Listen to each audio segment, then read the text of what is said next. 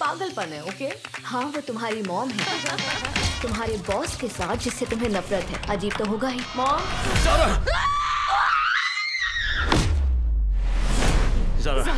अगर सुन सकती हो तो मुझे किस फ़िल्म के लिए टीन चॉइस अवार्ड मिला था?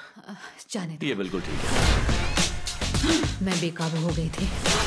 कभी कभी हो सकती हूँ मुझे तुम्हारा ही इंतज़ार था। फ़िल्म का डायलॉग मार रहे हो ना? हाँ। सब कुछ बदतर होते जा रहा है।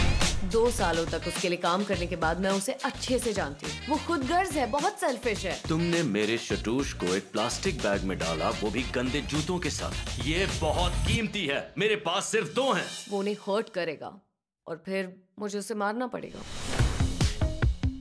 मुझे डर लग रहा है। कोई बात नहीं तुम बस खुद से पूछो कौन थी मैं जब हर पल सबका नहीं सोचती थी? क्या तुम डिनर और एक चैट के लिए इतना कुछ करते हो?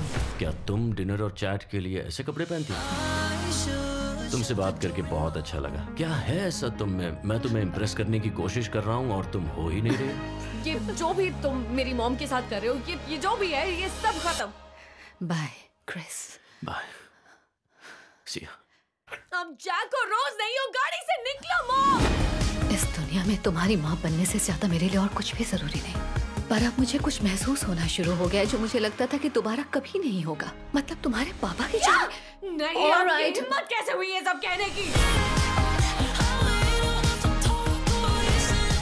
मैं नहीं चाहती कोई भी मेरी मॉम को हर्ट करे। तुम्हारी मॉम पर वो एक औरत भी तो है ना जिसकी अपनी लाइफ है। क्या इज़्ज़त रहेगी अगर मैं अपनी पोती को बजफीड के हंकियस प्रूनेट को क्रिसमस पर आने देने के लिए मना ना पाऊँ? मुझसे ज़्यादा आप चाहती हो बिल्कुल।